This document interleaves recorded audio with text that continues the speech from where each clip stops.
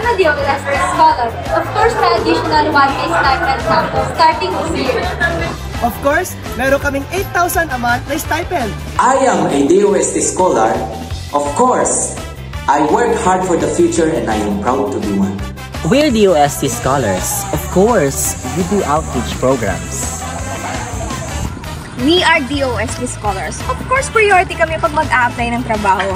Pag practice teacher ka, priority ka sa DepEd at ang rango mo ay Special Science Teacher 1 at ang kasweldo mo ay Teacher 3. You can also get book allowance, thesis allowance, and even a premium insurance.